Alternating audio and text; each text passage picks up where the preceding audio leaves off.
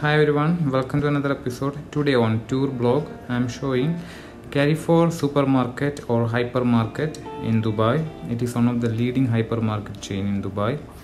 Let's have a look what is in the Carrefour supermarket. If you are new in this video, may I request you to subscribe my channel and press the bell button to get the notification as soon as I upload the videos. This Carrefour is located Dubai Festival City inside the Dubai Festival City Mall. Carrefour is a French multinational retail corporation company. Enjoy the video and let me know your feedback.